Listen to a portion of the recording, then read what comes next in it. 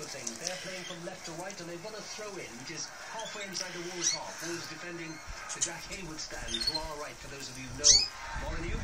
Penalty at Craven Cottage. Fulham against Newcastle.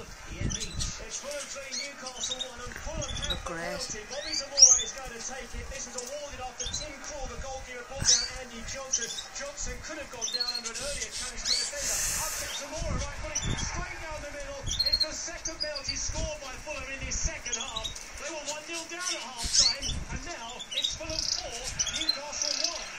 Thank you, Ian. What a turnaround there. Fulham 4, Newcastle 1. All of this, of course, is on Premier League Live with Betfair. 100 102 today FM. Here in Molineux, quite a game. It's Wolves Wat serie de two, Bengalese Aston nou? Villa two. This Midlands Oh, is it just Alex? swayed back and forth one way or the other.